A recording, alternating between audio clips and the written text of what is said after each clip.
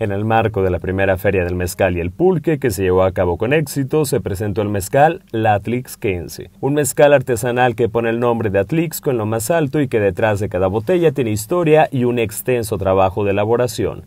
Así lo comentó Alejandra Hernández, productora de este mezcal. Es eh, que conozcan eh, eh, que detrás de una botella hay, hay un trabajo muy, muy, muy extenso. tenemos siete variedades en la marca que va desde un papalome, un espadín, este, un criollo, eh, un cupriata y pues eso es lo que tenemos para ahorita.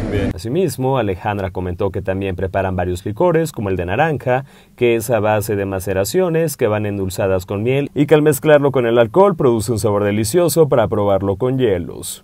Oye Alejandra, veo acá varios eh, sabores, veo mezcaranja, veo mezcamaica y también por aquí veo otra cosa, ah, licor de naranja. Platícanos sobre estos licores, son eh, un poquito más suavecitos, un poquito más fuertes, ¿cómo son?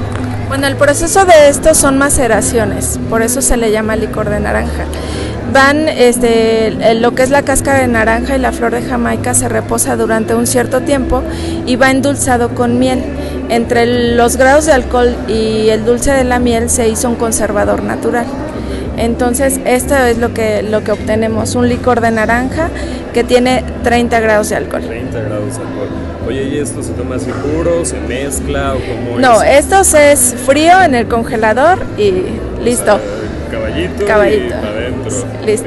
Hernández agregó que cada botella lleva su tiempo de maduración desde el espadín que dura 7 años hasta el pichomel que lleva aproximadamente 15 años. ¿Y desde qué precios tienes eh, las presentaciones acá? Sí, pues va a depender al tipo de agave que, es. Eh, cada agave tiene un tiempo de madurez diferente. Tengo desde, desde un espadín que, es este. Este espadín, su tiempo de maduración es de 7 años. años. Y tengo uno que es un pichomel, que ese su tiempo de maduración es de 15 años.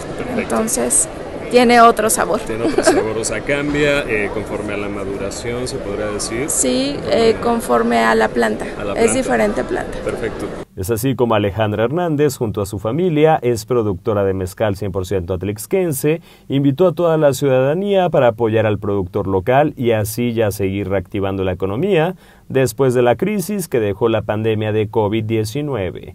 Con información de Luis Castillo para STV Atlixco.